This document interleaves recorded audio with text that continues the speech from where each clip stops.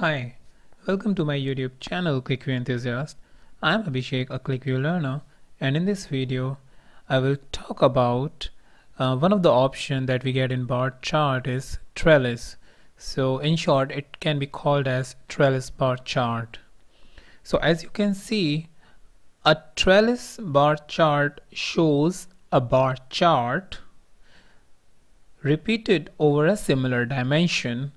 So for example, our main dimension is uh, the sales reps and the year. So this bar chart is repeated over the sales rep in these different four sections and an expression which is the sum of sales.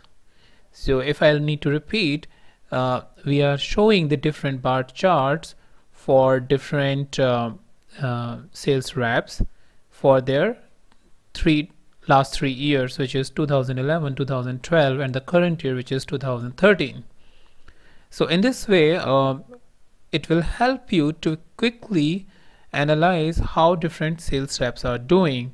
So if I have more than four sales reps I can produce the information of those four sales reps.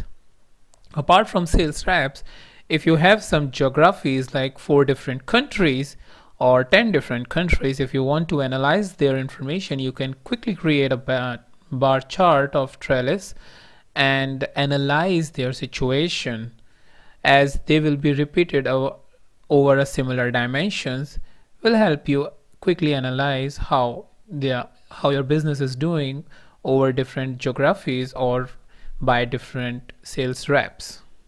All right.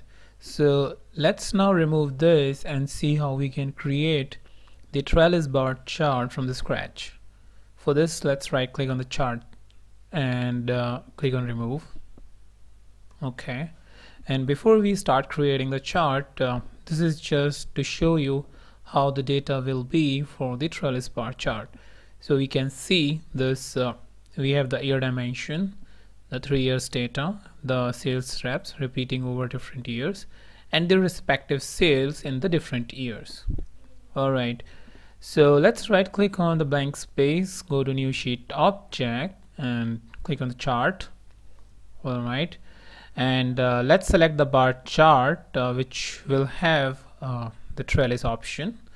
So, but for now we'll click on the bar chart and click on the next so the option we will going to select is the sales rep and the year.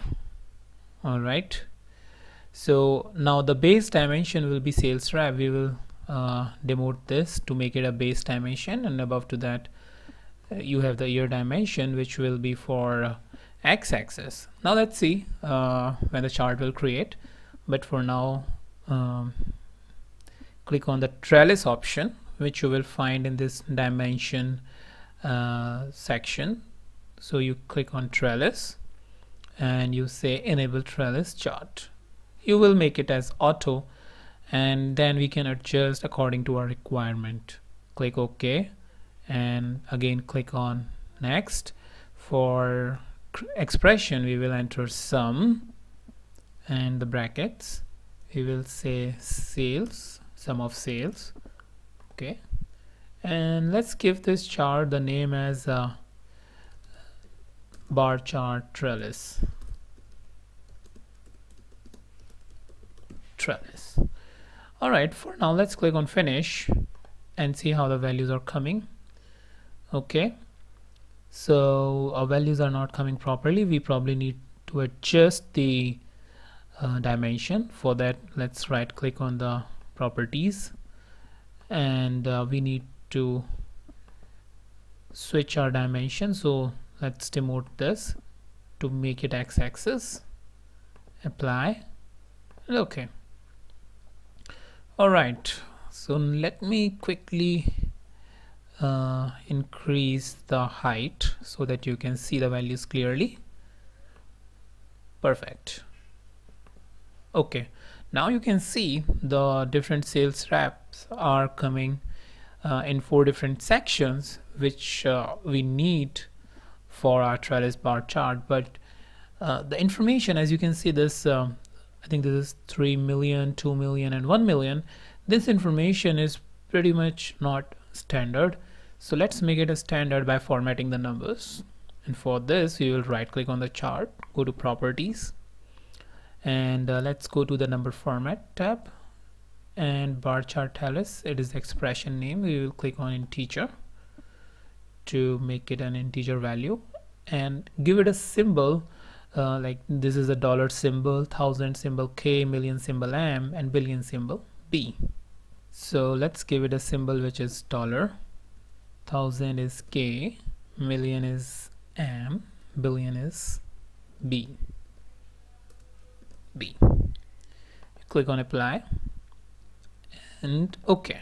Now you can see which is uh, the values has shrinked and now coming properly on the chart. So M symbol indicates it is a million, 30 million, 20 million and 10 million. So in this way you can see how uh, the irregularities or the differences between the different chart.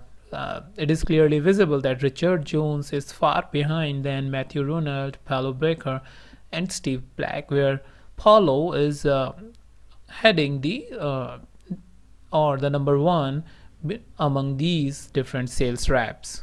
So in this way, you can create a trellis bar chart and um, uh, figure out the uh, the differences or the irregularities between different data points.